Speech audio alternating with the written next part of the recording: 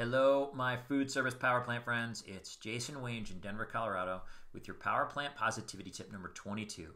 Look for innovation everywhere. I was listening to an interview the other day with one of my friends. Her name's Kathleen Seeley. She runs Massively Human Leadership. I was in the garage doing something, I had my headphones in, and she made a comment about leadership that really stopped me in my tracks. And I had to go back, rewind, and listen again. She said, Leadership is not a title and it is not a role. Leadership is a behavior. And right now, we are watching organizations and communities and families and individuals all trying to figure out what is the next step? What's the next evolution in who we are as an organization? What's the next step in my evolution as a person right now as I learn how to get through this new challenge in a new way? And the idea occurred to me that leadership will come from anywhere. And innovation within our organizations or in our communities or our families will come from anywhere. Years ago in our own family, when my wife had some heart challenges, there was a brief period of time where she was just sleeping on the couch in the living room. And our kids decided, you know what, well, we decided we're going to bring in dinner to my wife. We'll all eat in the living room. And the kids decided we should bring out a board game and let's play a game while we eat dinner. And for the next two years, even though my wife became perfectly healthy to go eat at the dinner table, we stayed in the living room. And almost, uh, probably for half the nights of those two years, we would eat dinner in the living room and be playing a board game. And it was a real moment of connection amongst us. And it came from my five year old.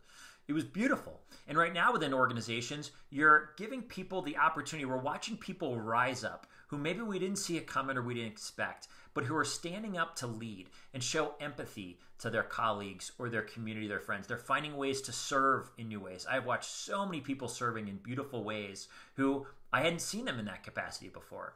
And there's an opportunity for innovation and leadership anywhere.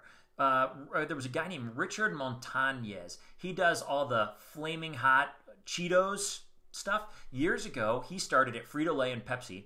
He was a janitor work, working for four bucks an hour. One day, the Cheeto machine pops out some Cheetos and no cheese had been put on.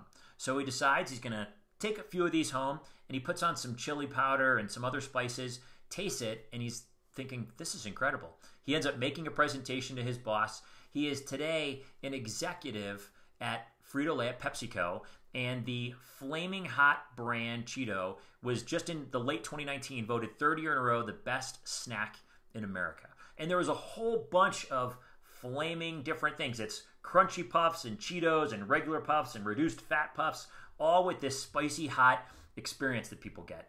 And it came from someone that maybe no one saw it coming. So, one of the things I want you to do right now, either in your work, in your community, if you're working through all the challenges as a, as a community of people, in your home nucleus, your family, I want you to ask everyone, I want you to start looking for who can innovate, who can help you solve that next challenge, create that next opportunity. Google's notorious for this. They will ask their people, they'll give them a percentage of time and they'll say, "We don't want you to do your traditional work. We don't want you to do email. We don't want you to make phone calls or answer phone, you know, answer phone calls. We just want you to think. What's next for us? What is a blinder that we didn't recognize we have? What's the next opportunity, or the next thing that we can create? and let that come from anywhere in your company. When you do that, by the way, you let all the people within your company or the people within your community or your family recognize that you really believe in them, that you really value them. If you ask someone that you didn't expect, someone maybe not in the front lines, say, hey, listen, I'd like you to take an hour and just think about what's next. Do you know that sense of pride creating them that you believe in them to solve that next challenge? Open it up to everyone. It will also help you and your teammates, your community, your company, your family come together closer as you solve these challenges together. And at the end of this, one of the things certainly we all want is organizations and communities that are closer, more tight knit, believe in one another, and have found those hidden leaders that we didn't see coming. So give people time in your organization, in your community, in your family to go innovate. Find those leaders and let them rise up amongst you. Remember, you've got this. I know we're going through a lot, but together we can certainly get through this together. Have a great day.